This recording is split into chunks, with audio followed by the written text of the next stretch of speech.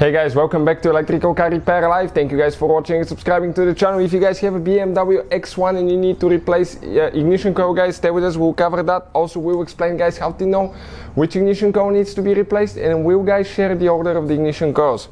All that guys will be demonstrated today and even if you have 4 or 6 cylinder gasoline engine the procedure will be very helpful and it will teach you how to do that.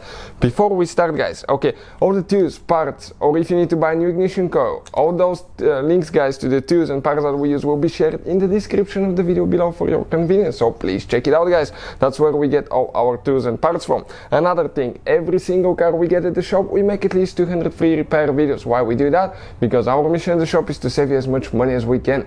All we need guys in return, please subscribe to our channel and like the video, that way we can keep providing this free information to you.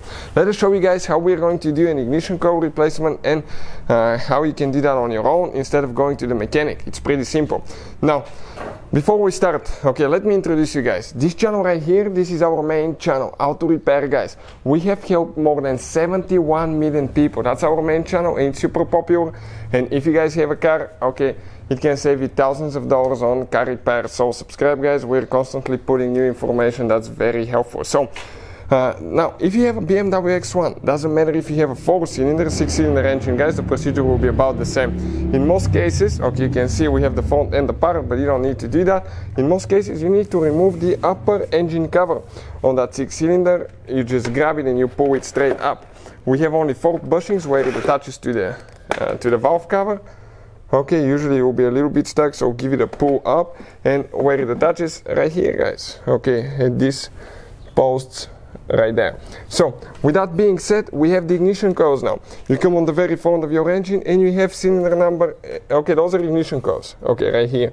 Three on this side, three on this one. So you have cylinder number one, two, three, four, five, six, guys. Now, uh, this ignition coil on cylinder number one, two, three, four, five, and six, right there. So, how you guys know which ignition code usually is bad? Let's say you have engine light on and you scan the system and it says code for ignition coil cylinder number 3 guys. In that case, you get code P0353 or it will state something such as ignition coil C. C means it's a third ignition coil, A, B, C. Then they go D, E, F or uh, the last digit of the code 353 will correspond to cylinder number 3. If you have code 355, it will correspond to cylinder number 5 guys. So with all that being said, let us show you how to remove and replace one now. We'll demonstrate just on one, but it will be exactly the same for all of them. So we'll go ahead, pull the cap up, and it will disconnect the wire. Check this thing out now, okay? And it spits the wire out.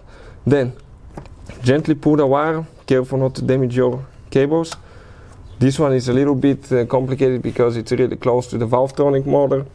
Now we'll grab the coil, just twist it a little bit left right and pull up. It will be stuck guys because it gets on top of the spark plug. And this is your ignition coil. When you're ready to install it, if you need to get a new one, we'll have the link in the description of the video below where we bought our new ones from. You just go ahead guys, okay, and install it. Get it on top of the spark plug, push it down. Okay, just find the spark plug then push it down click it make sure it goes all the way down.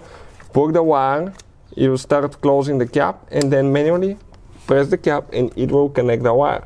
Make sure it's connected all the way otherwise it will not be communicating and you will still get a code for mis uh, for bad ignition coil and misfire. So that's how you guys do it. Uh, practically it will be the same for most engines. Hopefully the video will be helpful. Thank you for watching and see you guys next time